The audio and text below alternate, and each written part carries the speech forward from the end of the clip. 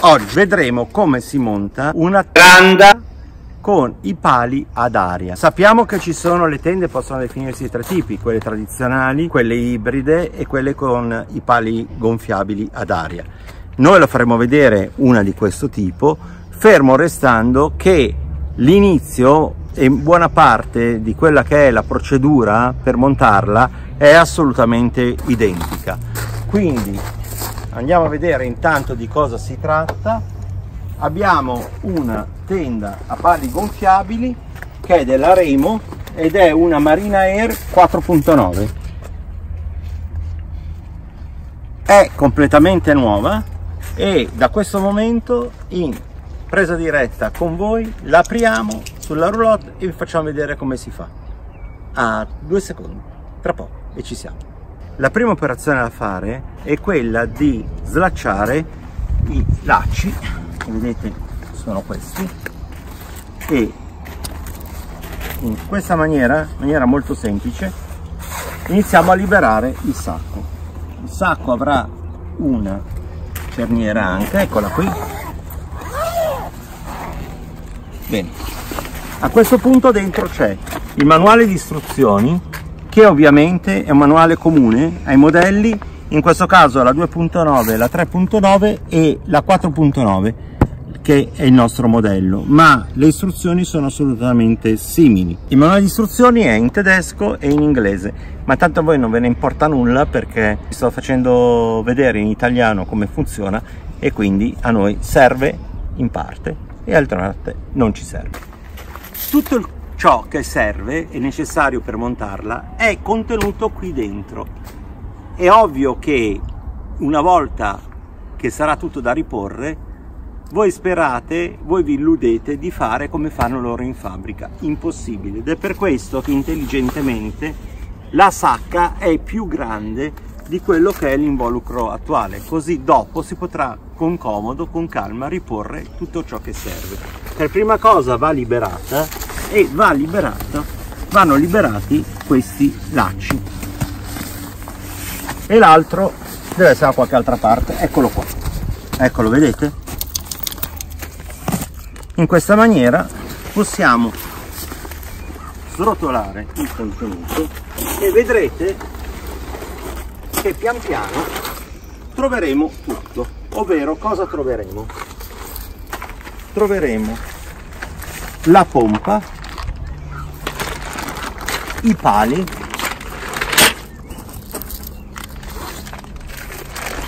Il sottoscocca molto importante molto più di quanto non si creda. E in ultimo il sacchetto con i picchetti. Attenzione perché per quel che riguarda sia i picchetti che la pompa non è detto che sempre ci siano ovvero in questo prodotto commercializzato dalla Remo ci sono. Sovente su internet troviamo dei prodotti che sembra che costino meno ma semplicemente perché manca uno dei due accessori oppure perché i picchetti magari sono di bassa qualità in plastica. Ovviamente sono operazioni che riducono il prezzo. Poi uno ha la mare a sorpresa quando prova a montarlo che gli manca una cosa gli manca un'altra si spacca questo quindi attenzione, ogni volta che si compra, comprate dove volete, ma ogni volta controllate le specifiche, deve esserci tutto, altrimenti a quel prezzo lì va aggiunto qualcos'altro. A questo punto ci saremo trovati con questo immenso saccone, con questo immenso telo e non sapremo che cosa farci. Niente panico, è semplicissimo, è veramente una soluzione semplice, perché noi per poter utilizzare la veranda, la prima cosa che dovremmo fare è infilare la guida nella canalina della roulotte. Quindi dovremo cercare questa guida e la guida è questa qui.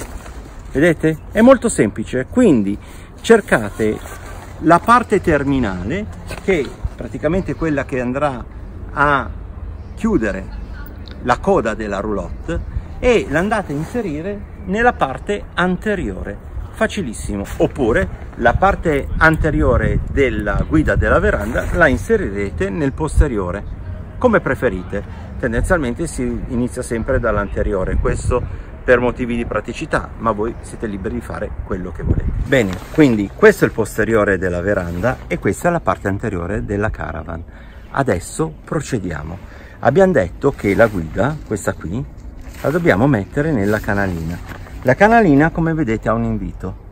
È molto facile da trovare. Ecco, io spero che nella vostra roulotte la barra di rinforzo non l'abbiano messa proprio dove c'è l'invito, ma l'invito l'abbiano messo un po' più in alto, un po' più in basso, la barra di rinforzo, perché qui è molto difficile. Spero che nella vostra caravan non sia così difficile. Vedete?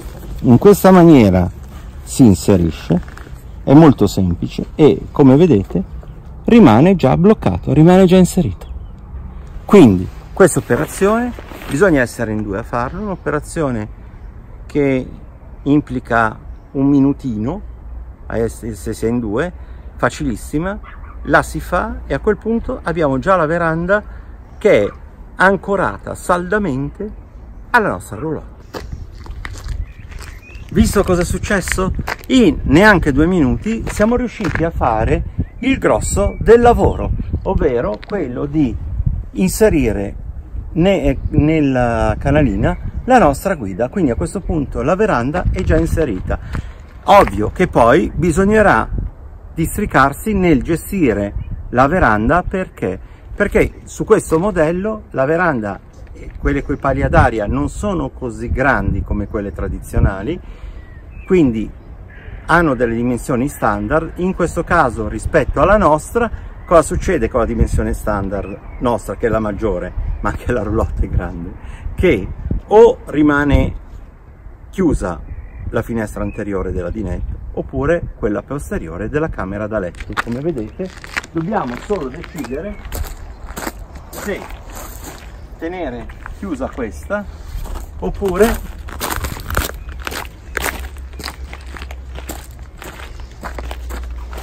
se tenere chiusa questa.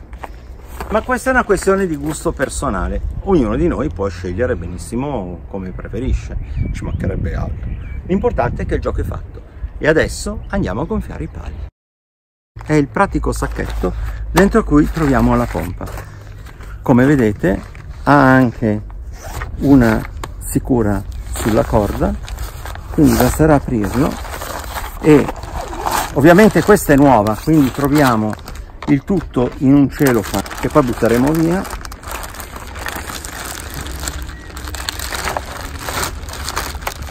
E questa è la pompa. Dovremo andare a montarla vedete c'è anche indicata la pressione è abbastanza semplice. In un vedete qua c'è inflat quindi andiamo a inserire il tubo nell'avvitamento lo chiudiamo bene. Dopodiché l'altro tubo lo inseriamo qua e il gioco è fatto. Andiamo a individuare le valvole. Come vedete Remo utilizza un pratico telo che copre la valvola e la preserva da eventuali intemperie o altro. Questo poi dipende perché ogni produttore ha la sua soluzione insomma. Questa però secondo me è decisamente molto ma molto pratica. Una accortezza quando si apre la valvola. Queste valvole come vedete hanno molte ghiere quindi si può aprire a più livelli. Dovete quindi tenere con due dita fermo la ghiera sottostante in maniera tale da riuscire a aprire quella che interessa a noi con estrema facilità e a questo punto non resta altro che inserire il tubo ecco fatto nell'alloggiamento previsto e iniziare quella che è l'opera di pompaggio. Se avete cani sappiate già che questo è il destino che vi aspetta. Come vedete il primo palo lo abbiamo già gonfiato. È stata un'operazione molto semplice. Adesso non si tratta di far altro che togliere il tubo della pompa chiudere. Per chiudere fate esattamente quello che faccio io dito sulla parte centrale superiore della pompa e ruotate con la ghiera. Lo chiudete e siete a posto. Non ci resta da far altro che gonfiare tutti gli altri pali.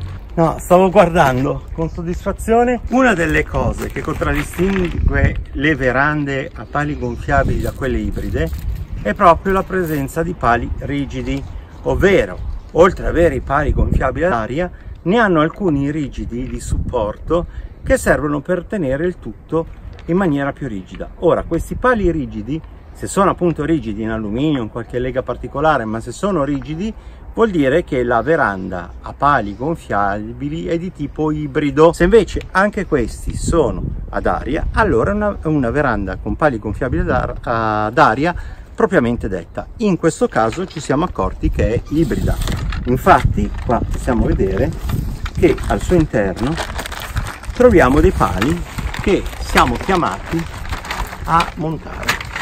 Ed ecco qua, questo è uno, è un palo telescopico interno. Quindi apriamo questa leva, lo allunghiamo di quello che ci serve poi chiudiamo la leva. Adesso venite dentro che vi faccio vedere esattamente. Fate come se foste nella veranda di casa vostra. Allora se vedete bene qui vedete? Allora in questo invito io metto il palo. In quest'altro metto l'altro palo. Allargo bene e poi chiudo e il gioco è fatto. Ora ditemi cosa c'è di più facile di un'operazione del genere. La ripeteremo per tutti i pali. Uno degli oggetti più sottovalutati nelle caravan è questa parte componente della veranda che deve essere inserita nel sottoscocca. È una delle componenti più sottovalutate dai caravanisti. In realtà questa componente andrebbe per tutto il perimetro delle caravan solo che purtroppo su molte caravan la parte posteriore e quella anteriore non hanno più gli inviti li avevano una volta adesso scomparsi. Perché consente di isolare al meglio il pavimento e quindi la scocca dal clima che c'è esternamente e quindi dal caldo o dal freddo. Vedete? Anche in questo caso c'è una guida c'è una canalina e basterà inserirlo nella canalina. E il gioco è fatto e come vedete stiamo parlando di un accessorio che si monta facilmente ed è indispensabile. Una volta che avremo montato anche questo i pali abbiamo già detto li abbiamo montati il gioco è fatto. Voi avete la vostra veranda montata vi potrete godere quello che volete una lunga vacanza perché è grande quanto una veranda tradizionale oppure anche solo un veloce weekend perché abbiamo visto che in un fine settimana 30 minuti ci vogliono per montarla. Quindi non è che ci vuole tutta sta scienza. Ci basta veramente. Se non siete ancora se deve primarmi 30 minuti quando poi sarete più capaci allora in un quarto d'ora ve la monterete. Io con questo ho chiuso vi saluto da questa Remo Marina 4.9 e ci vediamo quest'estate perché con questa veranda faremo un test di quelli massacranti. Vi ricordo che con questo test ci sono verande che non ce l'hanno neanche fatta, perché noi quando facciamo i test, facciamo i test!